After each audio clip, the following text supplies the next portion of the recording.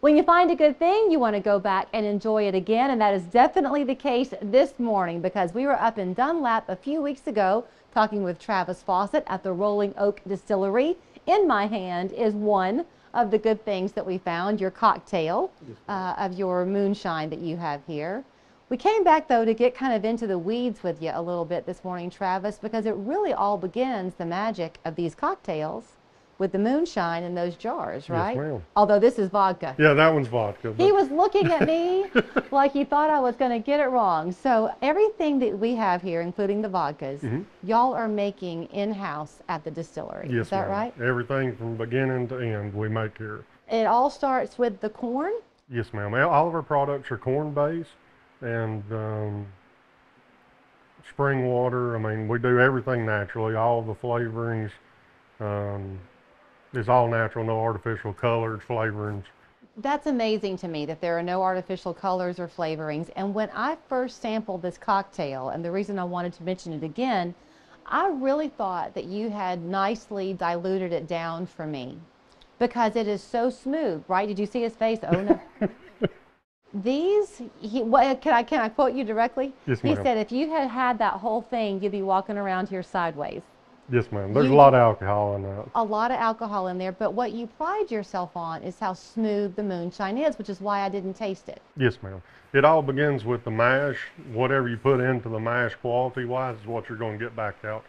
The distillation and everything has a lot to do with it, mm-hmm. but what you start off with is a great bearer of the end product. So what you start off with is what you call the original. Yes, ma'am. All the, on our moonshine line, the original is our base liquor in all of our moonshine products.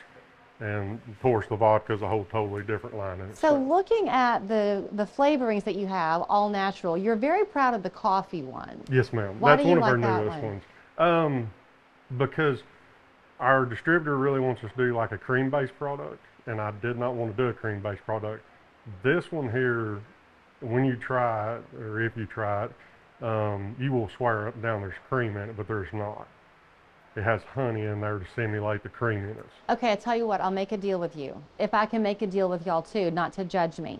So I really want to try the original because that's Okay. where it all starts. Right. But you really want me to try the coffee. So you've got a little tiny jar back there. Yes, Can you pour me just a little smidgen of the coffee one Yeah. first? Okay. To see if I can taste the honey. It looks like black coffee. It's real coffee. We use very high quality coffee. Um, everything we use is high quality. We don't use anything of That's not a smidgen. any low quality. That's a smidgen in our line. Don't look. Okay.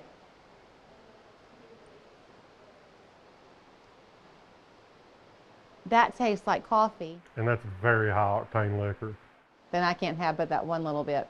Oh, you can have as much as you want to, but I can't promise you what the rest of your day's going to I'm not doing that. uh, but you can taste the honey. That's what's giving the creaminess in there. That's really, really good. And I've noticed something. Every time you, you're making something for me, you're pouring it over ice. Yes, ma'am. Is that because the cooler it is, the better it is?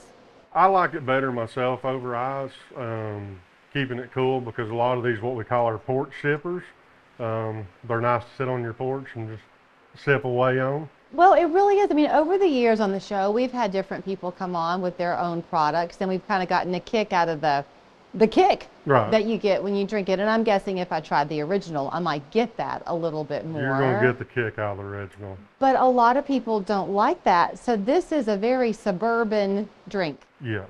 Um, and the country, our country folk like it just as much. I Well, mean, sure. The, all the flavors have been uh, phenomenal successes so far. Uh, not that we're trying to toot our own horn, but um, we hadn't had one come out yet that nobody just didn't like. I'll toot it for him a little bit because, I mean, you have shared these successes. You're, you're very new Yes, as a business. The name, by the way, Rolling Oak, um, I think it's kind of a faded thing. That's the name of your farm yes, ma'am. where you grew up. And then you learned or found out that the only way you could transport, Yeah, when we do The the, whiskey in the barrels, it's so heavy. The only way to really transport it's to roll the barrel. So it just a happy coincidence that rolling oak goes right with our new business adventure. In case you did not see it when we were here last time, I told them then that the area in Dunlap where his place is is nestled down this gravel road in the woods. When you begin to build it, uh, you found an old whiskey bottle, evidence that some folks have been enjoying whiskey here for Oh, a yeah. long time. For a number of years, there's been a lot of liquor flow off this mountain. but you are very forward thinking in your business model here. Yes, ma'am. Uh, We try our best to be um, not only doing right by the product. As the company grows, I don't want to, things get out of sight. So when you try Rolling Oak, it's not investor based. It's me, my wife, and my sister and family. Um, we went out there to outgrow our britches. You learned from your grandfather, in part, right? Yes, ma'am. Uh, what do you think he'd say?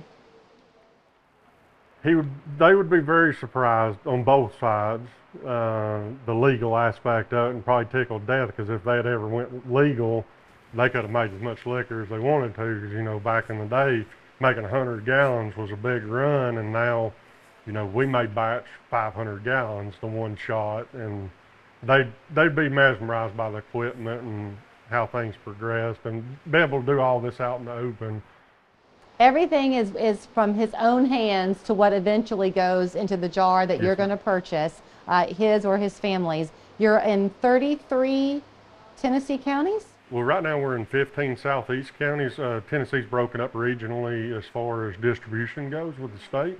So we're in the um, 15 southeast counties, and we just entered the Nashville market, which includes 33 counties around Nashville. Okay, so if you're watching us anywhere in the viewing area in Tennessee, you can find this at probably any liquor store near you. Just about any liquor store, and if they don't have it, tell them they need to have it. And your fa- so the coffee was mighty good. I'm not so sure I'd begin your day with it, maybe end your day with it. Right. Um, it's really amazing what you're doing. And when you come up here to a visit, for a visit when they're open for the public to come, there are pieces of family lore all throughout. All that'll be part of the tour. You'll get to see it, feel it, touch it.